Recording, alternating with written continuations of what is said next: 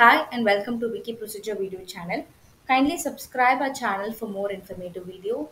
In this video, we are going to see about apply subsidy for construction of irrigation well in Punjab.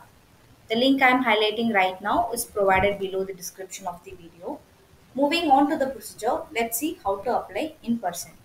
Whoever is applying has to visit the Department of Soil and Water Conservation in Punjab. We have provided the contact link here. To know more about the contact detail, you can check our office location and contact section. Get the application from the concerned authority and complete the application form. Incomplete application will not be accepted. Submit the application form along with the documents to the concerned authority. If all are in place, the application will be accepted. You need to pay the fee as requested by the authority. Concerned authority will look into the application form and submit a document before providing an approval.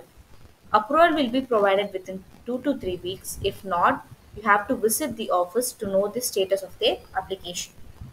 Also, we have provided more information related to this procedure in below each section, like required document section.